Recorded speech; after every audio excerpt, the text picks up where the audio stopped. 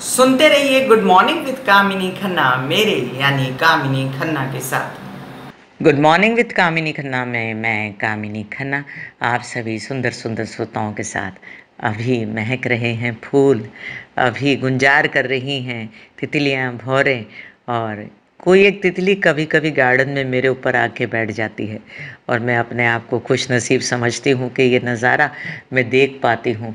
वो लोग जो चूक जाते हैं, इस नज़ारे को जो सोते रहते हैं रज़ाइयों में, उनसे कहना चाहती हूँ कि अगर आप लेट नाइट नहीं आए हैं, अगर आपको अच्छी नींद आई है और आपने लेट नाइट नहीं किया है तो आप ज़रा छः बजे के करीब उठ के देखिए।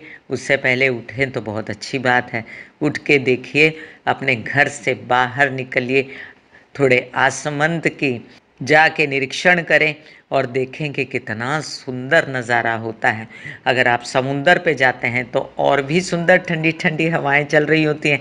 अगर आप गार्डन में जाते हैं तो वहाँ पर भी हरी हरी घास और कई सारे फूल और मंद मंद हवा और सुगंध एक प्रकार की आपका इंतज़ार कर रही होती है और सूर्य तो रोज़ ही आपका इंतज़ार करता है तो आप सूर्य को नमस्कार करते कि नहीं? ये सृष्टि और ये नेचर रोज़ आपका इंतज़ार करती रहती है और आप न जाने किस बात का इंतज़ार कर रहे हैं। आप सोचते हैं, कल उठूँगा, परसों उठूँगा, आज उठूँगा और ये सब करते करते कई लोग मुझे कहते हैं, कामनी जी, हमें समय नहीं मिलता।